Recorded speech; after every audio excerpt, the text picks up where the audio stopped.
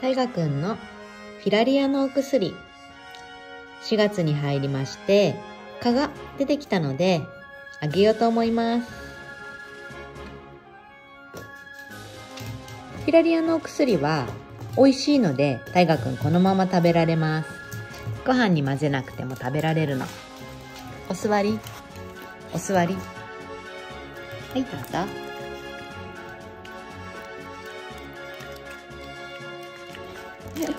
はい食べ終わりました。大河くんのフィラリアのお薬。